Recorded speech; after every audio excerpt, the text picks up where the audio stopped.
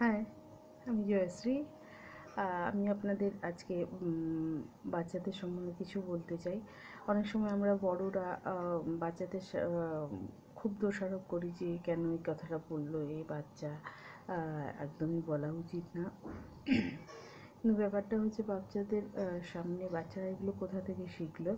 একটা কথা যে, বাচ্চারা তো আর শিখেই জন্ম নেয় না তারা এই পরিবেশ থেকেই সব শেখে।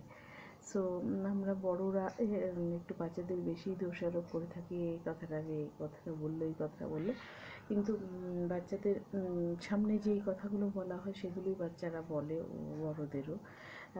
তো একটু প্লিজ রিকোয়েস্ট করব প্যারেন্টসদের যে বাচ্চাদের সামনে যাতে এমন কোনো কথা আপনি বলবেন না যে বাচ্চারা যাতে সেই কথাটাই আবার রিপিট করে আপনাকে বলে।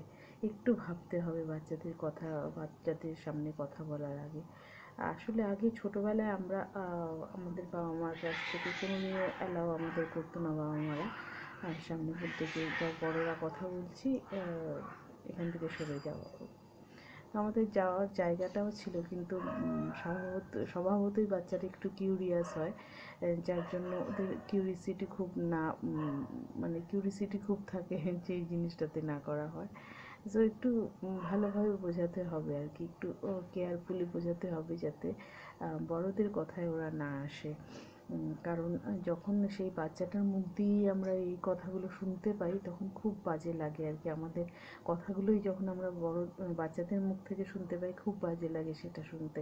আর আমরা তখন তাকে বকাঝকা করি। একটু ভেবে দেখবেন প্লিজ আমরা কোথাও হয়তো বাচ্চাটার সামনে এই কথাগুলো বলেছিলাম। একটু ভেবে দেখবেন প্লিজ বড়দের কাছে আমার এই রিকোয়েস্ট যে বাচ্চা- বাচ্চাদের সামনে একদমই বড়দের মতো কথা বলবেন না। মানে আপনারা কোনো বিষয় নিয়ে আলোচনা করবেন না। আরেকটা সরি আরেকটা ব্যাপার হচ্ছে যে অনেক অনেক সময় বড়রা দোষ দিয়ে থাকে যে বাচ্চা এত বড় কথা বলল, বাচ্চাটি। কিন্তু কেন বলে বলুন? সেটা তো ভাববার বিষয় যে বাচ্চাই বা কেন বলবে? বাচ্চা তো সবে জার্নি শুরু হয়েছে। একটা পঞ্চাশ বছরের মানুষ যদি একটা দশ বছরের বাচ্চাকে দোষারোপ করে, তো সেটা কি ঠিক? আপনারাই বলবেন প্লিজ এই কথাগুলো যে মানে বাচ্চাদের কতটা অ্যালাউ করবেন আর আপনারা হয়তো ভালোভাবেই জানেন ব্যাপারটা। তাও আমি বললাম। আর আপনাদের যদি কোনো কোয়েশ্চেন থাকে বা কমেন্ট যদি করা থাকে, একটু করবেন লাইক দেবেন প্লিজ